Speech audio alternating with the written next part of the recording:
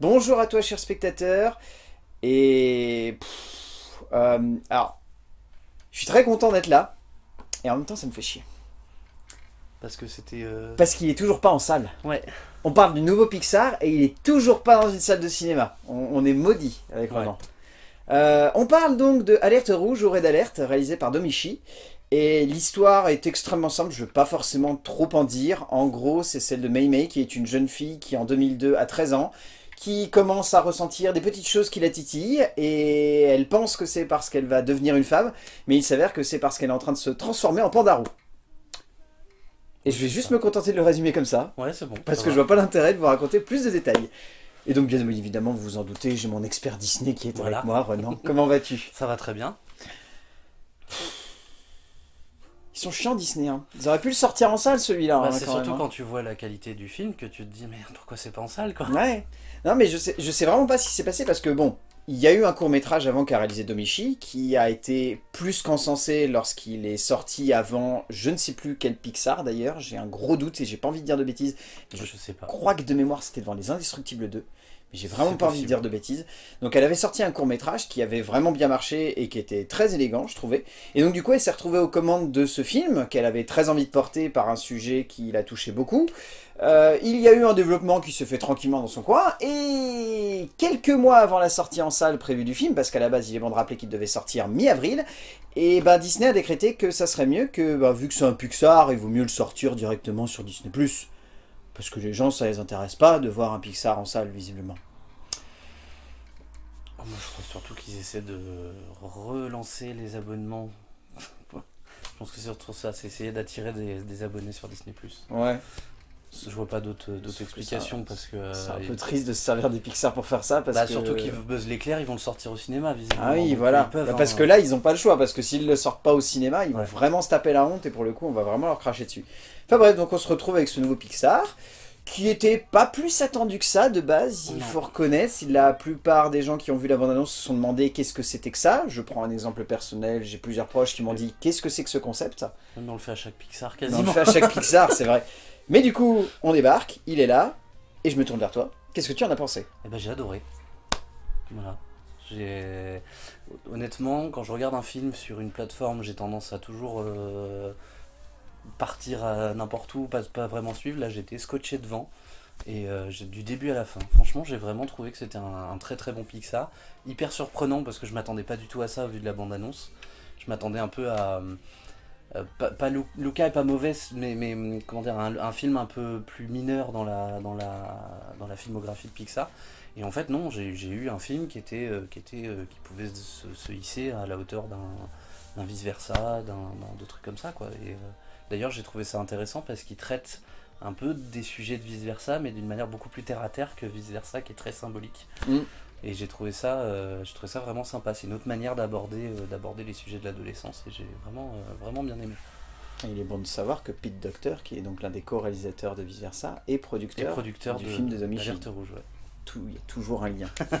Euh, non, je suis totalement d'accord avec toi. Alors, je suis moins enthousiaste parce que je trouve quand même que le film est, reste simple dans sa démarche. Peut-être trop simple par moment, mais il est vraiment bien. Mm. Il est vraiment bien parce qu'il a un esprit, il a une manière de regarder l'animation qui est très intelligente. Comme tu dis, il est beaucoup lié par énormément de thématiques à vice versa. C'est vrai que je l'avais pas forcément vu sur le coup, mais c'est vrai que maintenant avec le recul, il y a vraiment le même rapport à justement le fait de grandir, le fait de voir des émotions arriver, le fait de ressentir des choses que on ne pensait pas euh, présentes en soi avant. Enfin, c'est Voilà. c'est un film qui est très intelligent, qui va bien au-delà de simplement être un film avec un concept rigolo, parce que c'est vrai que la bande-annonce a tendance à trop miser là-dessus. Ouais. À miser sur le fait que c'est genre une fille, elle se transforme en pandarou, point barre, débrouillez-vous avec ça, vous allez avoir un film à sketch derrière. Et en fait, le film s'avère être beaucoup plus intelligent parce qu'on est vraiment sur l'histoire d'une jeune fille qui a 13 ans, qui commence à comprendre qu'elle est dans un âge compliqué, mais pas forcément compliqué pour elle, compliqué pour les gens qui l'entourent, parce que bah elle commence à se rendre compte qu'elle a envie de faire d'autres choses que simplement être l'élève parfaite, que simplement être la fille à maman, et c'est très intelligemment fait. Oui. Ben, en soi, j'ai trouvé que c'était un peu une, sorte de fusion vice-versa rebelle en fait. Rebelle dans le sens où rebelle dans le sens où elle a le même euh, le même rapport avec la mère. Où euh, dans Rebelle, la mère est pareil, abusive, elle lui, elle elle trace sa route euh, et elle peut pas en dévier. Et là, même chose en fait, on a, a cette, ce personnage de la mère qui est constamment sur son dos à lui dire ce qu'il faut faire, même quand elle l'écoute même pas en fait, elle cherche même pas à comprendre sa fille, c'est euh, direct et puis c'est toujours les autres qui sont fautifs quand, quand il se passe un truc et, du coup on, a, on retrouve un peu les ingrédients plutôt de, de certains films Pixar mais dans un seul dans un seul package euh, qui, qui, marche plutôt bien, je trouve. Mm. Et on en parlera après, mais alors j'ai été scotché parce que je trouve la mise en scène du film, bien au-delà de l'animation, la mise en scène du film extrêmement bien faite parce qu'il y a des moments où j'étais moi-même en train de me dire, je suis en train de regarder un film d'animation ou un vrai film? Parce que je trouve qu'il y a un travail du cadrage et de l'imagerie qui est hyper réaliste.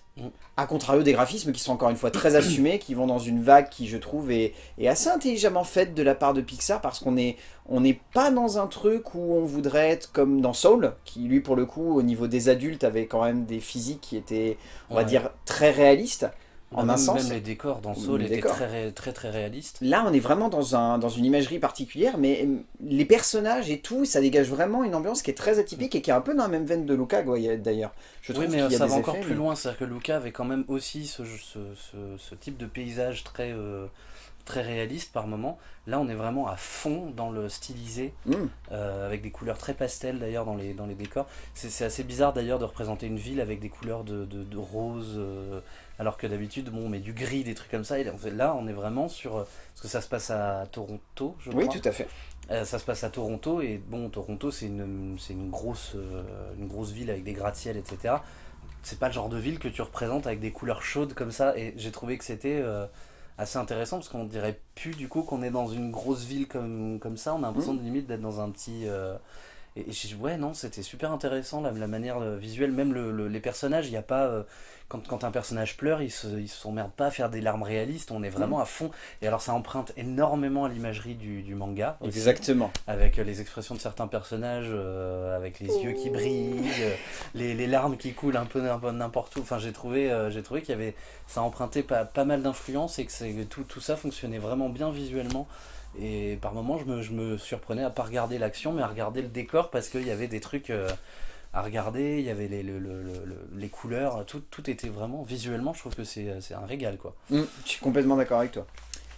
En termes d'écriture, donc le scénario est signé par Domichi avec l'aide de Julia Cho et à la base donc il y avait une histoire qu'elles ont coécrite ensemble avec l'aide de Sarah Streicher. C'est rare de voir un Pixar ou un Disney avec si peu de, scénaristes. Parce que la vache, d'habitude, je me rappelle les longues listes que je te fais à chaque fois où je te dis c'est écrit par lui, écrit par lui, à la base il y a une histoire de lui, de lui, de lui, des personnages de lui. Mm. Là ils sont trois, et même ils sont deux si on parle vraiment que du scénario. Euh, l'écriture est très intelligemment faite parce que bon, le film est marqué comme durant 1h46 sur Disney+. Je vous invite à bien regarder parce qu'en réalité, on a une heure et demie de film bien tassé, très, très mm. condensé. Hein. C'est un film qui est assez court d'ailleurs. Mais ce qui est très intelligemment fait, c'est que je trouve qu'il y a un affect par rapport au personnage qui se dégage dès les premières minutes du film. Il y a cette longue introduction avec Mei Mei qui va parler face caméra et qui va littéralement nous raconter son quotidien, etc. Une fois que ça s'est calé, c'est genre débrouillez-vous, vous allez être dans l'histoire et là, il va plus du tout s'adresser à nous. Ce qui, je trouve, est très intelligent parce que ça permet d'inclure le spectateur directement, mm. tout en sachant qu'il va potentiellement voir un personnage qui est, euh, je dirais, un peu excentrique, mais qui est...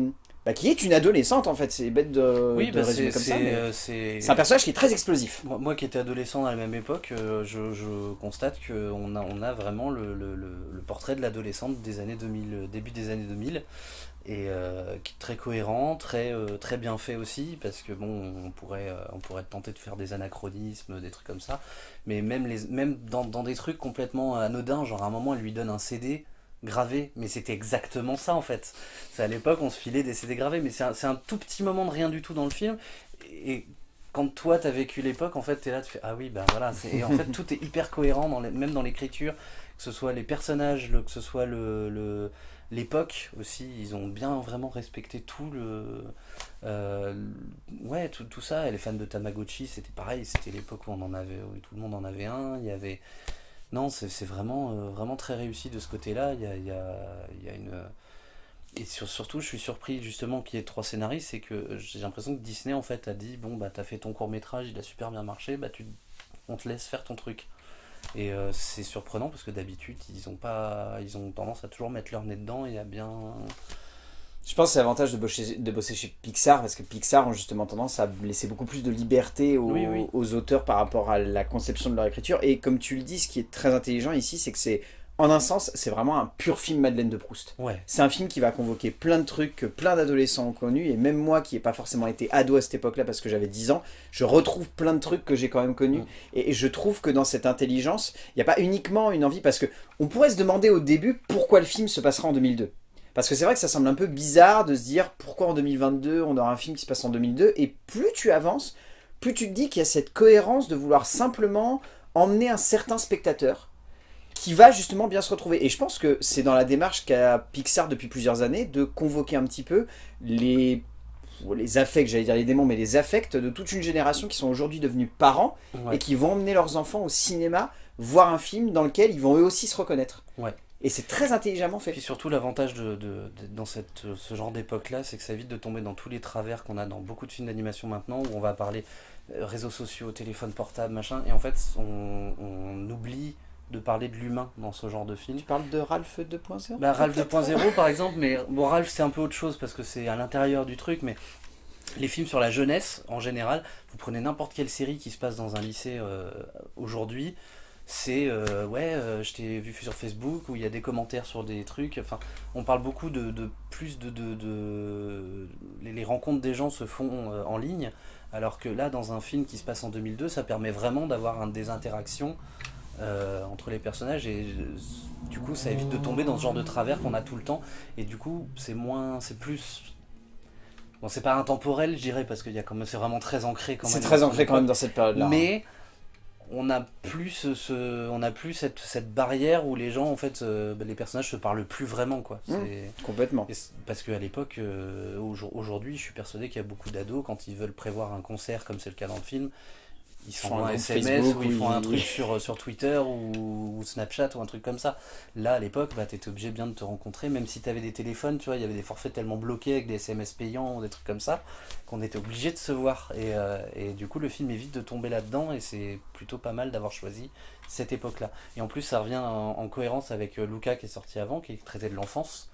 Et où du coup, pareil, euh, c'était une époque un peu plus reculée encore.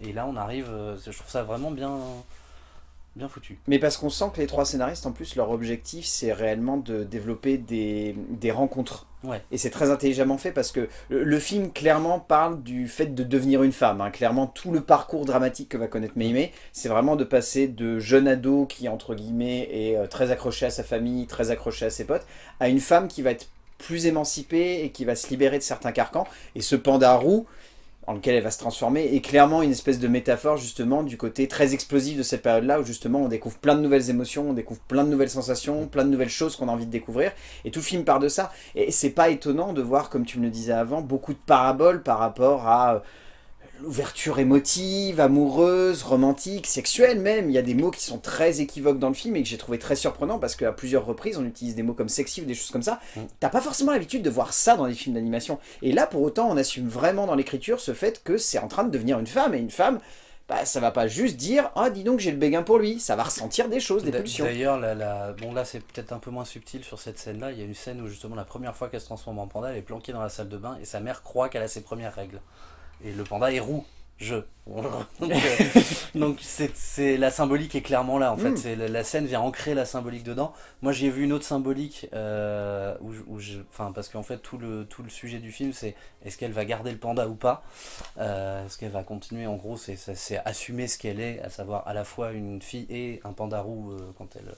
Et moi j'y ai vu une, une- un peu une un peu comme les gens qui voyaient dans Let It Go de La Reine des Neiges le, Mm. une sexualité pour Elsa, là aussi, je, je peux pas m'empêcher de penser qu'il y a eu un, il y a un petit, un petit sous-entendu Mmh. euh, où la, la gamine est peut-être soit bi, soit lesbienne, mais euh, Ouais c'est tout à fait possible. hein. voilà, même si effectivement dans le film elle, euh, elle, elle, elle a les yeux qui brillent devant des garçons, mais, euh, mais je sais pas, il y a, il y a ce, un peu ce sujet sous-jacent qui est, euh, qui est très suggéré et bon, qui est peut-être pas forcément perceptible au premier coup d'œil, surtout quand on est moins concerné. Mm. Mais, euh, mais, Mais qu'on peut ressentir quand même, qu'on peut ressentir quand quand même, même. voilà, c'est vraiment. euh, il y a plein de symboliques dans ce panda roux qui, qui même dans l'émotion, il y a des moments où elle, euh, où elle s'énerve ou des trucs comme ça, où du coup le panda devient ultra destructeur. Et, euh, et pareil, c'est toutes les symboliques de, de, de, ce moment où quand on s'énerve tellement qu'on a l'impression de pas être nous-mêmes. Et enfin, c'est vraiment bien, bien fichu de servir de, ce, de cette transformation pour montrer toutes les, bah, toute la palette d'émotions qu'on peut ressentir à l'adolescence, tous les conflits qu'on ressent. Les conflits familiaux aussi. Les conflits familiaux aussi, et c'est là qu'on retrouve le côté vice-versa, justement. C'est ces nouvelles émotions, où dans vice-versa, on voit les émotions qui se mélangent les, unes avec les autres, et du coup, on a des souvenirs qui sont à la fois euh, tristes et, euh, et joyeux. Et joyeux, et tout ça. Et là, c'est pareil, en fait. C'est une fille qui était tout le temps joyeuse avec ses copines et puis, euh, et puis qui, qui, était joyeuse avec sa mère en acceptant vraiment le carcan familial. Et là, il y a l'adolescence et d'un seul coup, le carcan commence à la, à la saouler. Mais elle veut aussi être avec ses amis. Donc finalement, elle finit un moment par, euh, par un peu se mettre tout le monde. Euh, elle sait pas trop où se placer mmh. par rapport à, à, tout le monde. Elle a de la pression de tous les côtés. Et c'est typique de l'adolescence, ce moment où bah, tu as envie d'être un peu libre, mais où tu t'aimes quand même ta famille, mais tu. Voilà, et du coup, tu, des fois, tu te retrouves en porte-à-faux avec tes amis parce qu'il y a ta famille, mais. Enfin, c'est hyper, euh, hyper bien foutu, j'ai trouvé. Mm. En termes de mise en scène, donc c'est le premier long métrage de Domichi, après donc un cours, qui avait quand même marqué par une esthétique très belle, qui est vraiment dans la pure filiation de ce qu'elle propose ici sur Alerte Rouge. Mm. Euh, le film est beau. Mais bien au-delà d'être beau, je trouve que le film a une, esthétique, comme tu l'évoquais déjà au début, qui est très colorée et très atypique. Dans la plupart des films d'animation, en tout cas dirigés par Disney, c'est vrai qu'on a rarement une palette de couleurs dans cette optique-là. Une palette de couleurs qui est donc très joyeuse pour montrer des décors qui sont plutôt très urbains. Mais c'est très intelligemment fait. Et au-delà de ça, on en parlera au fur et à mesure, mais je trouve qu'il y a un vrai travail de mise en scène et de cadrage qui par moments est extrêmement réaliste, je trouve. Ça m'a vraiment saisi, mais il y a des scènes où, bon, c'est pas une c'est pas une nouveauté, la plupart des films d'animation, les plans sont très lisses, très beaux, très chiadés, c'est rare de voir des plans où on va avoir une sensation de caméra à l'épaule ou des choses comme ça. Et dans ce film, il y a plein de plans, je m'étais dit, on sent qu'il y a presque une envie d'avoir un humain derrière une caméra et on, on aurait presque l'impression que ça a été filmé réellement avant d'être animé. Oui, c'est ça, c'est bah, toute la poursuite au début où elle se où elle, vient de se transformer et puis elle, s'enfuit. Il y a plein de plans comme ça où justement on a l'impression que oui, c'est caméra à l'épaule avec euh, des, plans qui bougent et puis, et puis euh, même euh, le concert par exemple où tu as des plans où la caméra elle vient elle vient d'en haut, en bas. Enfin, on a l'impression qu'il y a vraiment eu une grue qui a filmé. Mmh. on n'a pas, on pas ce sentiment qu'il y a dans beaucoup de films d'animation où on a des plans impossibles mmh. dans la réalité, où on pourrait pas les faire. Euh, ce qui devient possible maintenant avec les effets spéciaux, mais euh, à une époque, c'est des trucs qu'on C'était clairement pas faisable. Et, euh, et dans les films d'animation, on en avait beaucoup comme ça. Et là, il y en a. J'en ai pas vu, je crois pas. Non, j'ai pas eu la sensation qu'il y avait. Enfin, en fait, ce qui est intéressant, c'est que ça, ça, Domichi, elle a déjà en tête, et je pense que ça rejoint beaucoup ce que tu vois dans le film là. elle n'a pas besoin d'en faire des, des caisses avec sa mise en scène parce qu'elle a déjà un élément de mise en scène qui est surréaliste un énorme panda dans des pièces toutes petites. C'est ça. Donc à quoi ça sert de rajouter des caisses alors que tu as déjà un élément de décor qui, entre guillemets, est déjà présent et amène du surréalisme finalement. Oui, puis il n'y a, pas ce côté euh, un peu épique d'un film mm. comme, euh, je, prends Raya qui est sorti il n'y a pas longtemps, où on est sur des trucs épiques avec une destinée, avec un... Là c'est vraiment plus terre à terre, c'est c'est vraiment un sujet presque intime en fait. Mm. Donc il n'y a pas besoin d'avoir des plans de caméra euh, qui tournent dans tous les sens. Il y, en, a, si, il y en a peut-être un, je crois que c'est à l'école où à un moment il y a la caméra qui tourne comme ça vraiment autour. Mais ça doit être une fois dans le film et euh, c'est tout. Bah, la plupart du temps, en fait, ce qui est très intelligent, c'est que le film est très drôle aussi. C'est vrai qu'on n'a pas tendance forcément à appuyer là-dessus, mais le film a vraiment des scènes qui sont très amusantes. Je pense à une scène où euh, Mémé va se transformer en panda dans son école. Elle va essayer d'aller se cacher dans les toilettes, et là il y a une autre fille qui va arriver et qui va faire Oh my god c'est une scène qu'on voit dans l'abondance, mais cette scène-là est très drôle et elle est très intelligemment mise en scène parce que pas beaucoup d'effets, il y a juste un plan, on la voit, elle se retourne, c'est tout. Et c'est l'intelligence, je pense, que Domichi a sur ce film, c'est que réellement, du début à la fin, elle se dit pourquoi en faire des caisses quand tout ce qu'on a à l'image suffit en fait à parler au spectateur? Mm. C'est exactement ça. Et puis au-delà de ça, l'animation est vraiment belle. Oh bah, l'animation, faut, le euh, redire, mais. Euh, bah, c'est ce que je disais tout à l'heure avec cette esthétique manga, mais pas que. Est-ce qu'il y en a qui ont connu les, les, les, les, magazines fans de. Euh, comment ça s'appelait Star Club, je crois. Il y avait des magazines comme ça. des magazines même qui datent des années 90, hein, c'était les, magazines pour, pour ados avec, où tu avais des cartes postales dedans avec tes groupes préférés, machin. Et c'était cette optique avec des polices très des polices de caractère très, euh, très spécifiques, tu vois. Et en fait, on les retrouve dans le dans la- l'imagerie qui con- concerne le boys band, puisque c'est un gros, euh, un gros point du film. C'est même Four Town. Fort Town, ouais.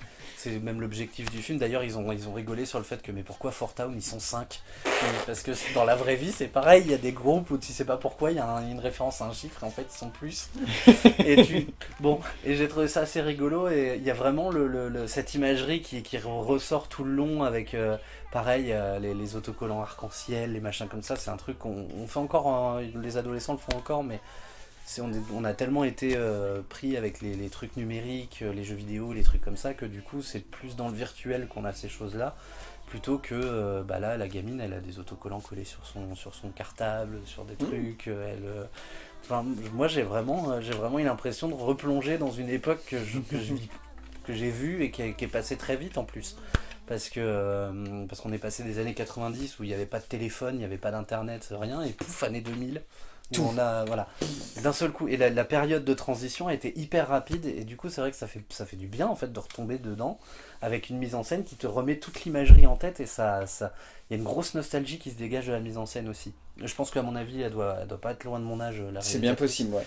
Et du coup, elle doit avoir eu, pareil, vécu cette époque-là. Et je pense qu'elle doit s'en rappeler avec un peu de tendresse. Et ça, enfin, on sent, on sent qu'il y a un, il y a un amour pour ce, pour cette époque-là et qu'elle avait envie vraiment de, le- de la, de la mettre en, en avant, quoi. Enfin, c'est, c'est tout- tout- toute la mise en scène vraiment remet, euh, remet en lumière toute cette époque. euh. Ouais. Voilà. Je suis complètement d'accord avec toi. Et puis en plus, c'est bon de le dire, mais vraiment l'animation est particulièrement détaillée. Il y a des scènes où j'étais vraiment en train de me dire, enfin, c'est des scènes toutes bêtes, mais il y a beaucoup de reflets qui sont mis dans les lunettes. Ce Oui. qui est une chose très compliquée, je pense, en termes d'animation, mais là, ça rend hyper bien. Il y a des très beaux jeux de lumière, notamment de nuit, qui Mm. m'ont vraiment saisi à la gorge. Enfin, il y a une scène où, notamment, Mei Mei et sa mère Ming vont être dans, un- dans une voiture de nuit et vont faire la route.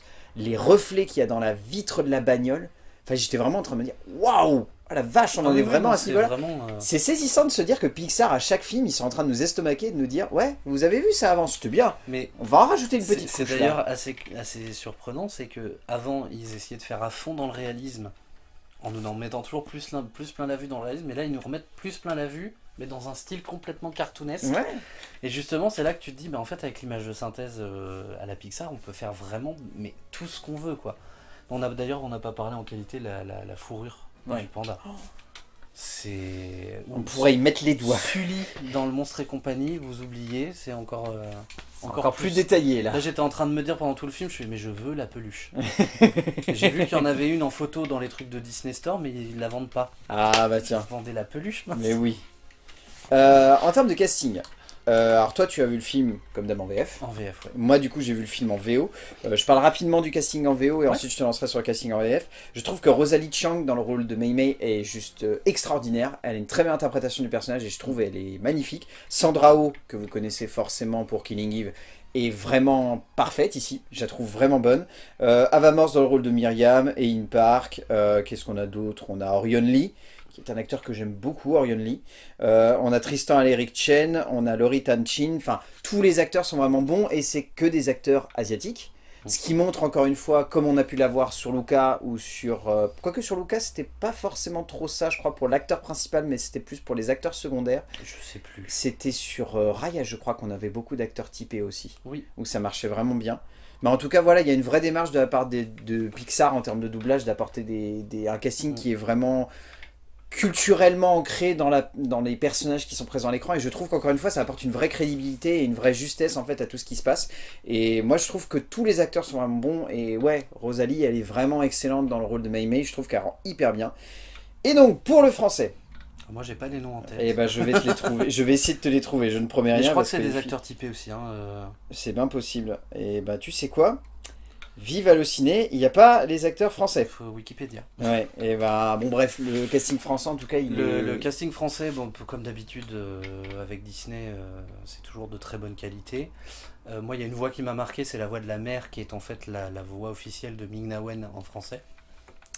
Alors, moi, je savais plus où je l'avais entendu. Je- pendant tout le truc, j'étais en train de me dire c'est la voix de Mulan. Au début, j'étais persuadé que c'était la voix de Mulan, et puis après, je me dis non, elle est un peu plus grave. Alors après, j'étais parti sur non, du coup, c'est peut-être la voix de Pocahontas. Et en fait, j'étais en train de chercher dans Disney, et au bout d'un moment, je me dis attends, je, je comprenais pas. Et en fait, c'est la voix de, pour ceux qui s'en rappellent, parce que c'est vieux, et d'ailleurs, c'est de la même époque. la voix de Haki dans Final Fantasy Les créatures de l'esprit, qui était doublée par Ming en, en VO. Et, euh, et justement, du coup, c'est la voix qui m'a marqué parce que c'est une voix que je connais, mais où j'a- j'arriverai pas à mettre le doigt dessus. Mais euh, bon, comme d'habitude, la VF, euh, la VF, euh, une VF Disney, c'est toujours d'excellente qualité. Mei Mei, elle est, elle est adorable aussi. Je crois que j'ai déjà entendu sa voix aussi, mais je suis incapable de savoir où. Enfin, pour ceux qui connaissent un peu TikTok, il y, a une- il y a une fille qui fait des, des TikTok à Animal Crossing où elle fait je me réveille et on dirait un peu ce genre de voix très ado justement et qui marche, qui marche vraiment très très bien quoi.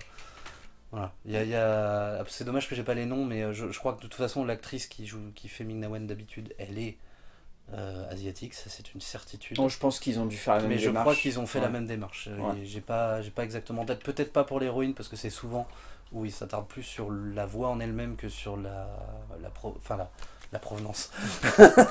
c'est pas le mot, c'est pas le mot euh, sur l'origine de la de l'acteur.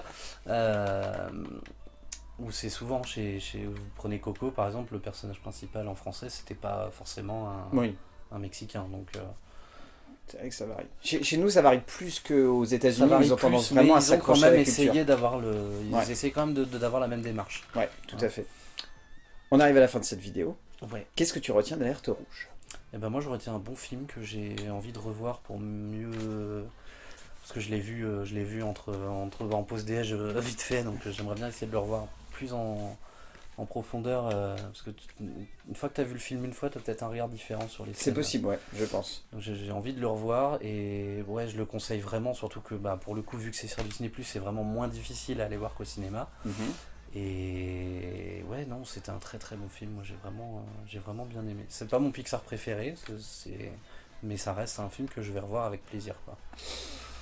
Eh ben, je vais être d'accord avec toi. Alors, clairement, ouais, c'est pas un Pixar parfait. C'est vrai qu'on a évoqué beaucoup de choses positives, mais parce qu'on a plus envie de faire ressortir le positif, parce que c'est vrai que derrière, euh, Bah, moi, je t'avoue, je saurais pas citer. on le- pourrait vaguement dire que le film est un poil redondant, qu'il y a des scènes qui, par moments, sont un petit peu étranges et trop bizarres par rapport à toute la thématique que le film cherche à évoquer. Moi, c'est vraiment les quelques points négatifs que je pourrais évoquer, et le fait qu'on a un peu l'impression par moments que le film s'étire un peu trop. Je t'avoue qu'au bout d'une heure, j'étais en train de me dire, je vois pas vraiment où le film peut aller, et heureusement, il y a un truc qui relance le Ah scénario. oui, oui. Mais euh, on pourrait se dire par moments que le film plane un peu. Peut-être certaines réactions de personnages aussi où tu te dis mais pourquoi il agit comme ça? J'aurais Tout à fait. vraiment, enfin, genre euh, le moment où le moment où tous les films d'animation en ont un, où les où les amis se séparent pendant.